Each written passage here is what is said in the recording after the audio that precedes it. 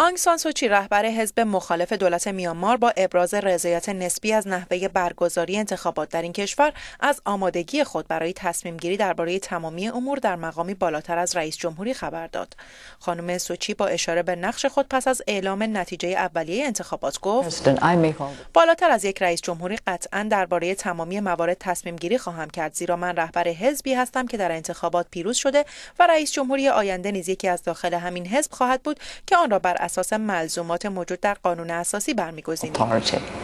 خانم سوچی به دلیل داشتن همسری با تابعیت خارجی حتی در صورتی که حزبش موفق به کسب اکثریت آرا شود نمی‌تواند به عنوان رئیس جمهوری انتخاب شود. با وجود اینکه شمارش آرا در میانمار ادامه دارد اما آرای شمارش شده تا کنون از پیروزی حزب لیگ ملی برای دموکراسی به رهبری آنگ سان سوچی حکایت می کند رئیس گروه ناظر اتحادیه اروپا در این انتخابات نیز گفت انتخابات خیلی بهتر از آنچه پیش بینی کرده بودیم پیش رفت البته کاملا صحیح است که اصلاحات بیشتری لازم است تا مطمئن شویم که در آینده شاهد برپایی یک انتخابات واقعی خواهیم بود. مقرر شده بود نتایج این انتخابات دوشنبه شب اعلام شود اما به دلیل طولانی بودن شمارش آرا کمیسیون انتخاباتی میانمار از اعلام نتایج قطعی تا پایان روز سهشنبه خبر داده است.